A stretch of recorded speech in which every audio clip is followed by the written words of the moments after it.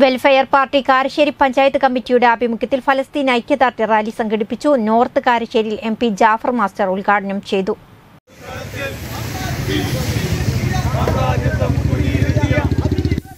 Welfare party Karassery panchayat കമ്മിറ്റിയുടെ ആഭിമുഖ്യത്തിലാണ് ഫലസ്തീൻ ഐക്യദാർഢ്യം സംഘടിപ്പിച്ചത്.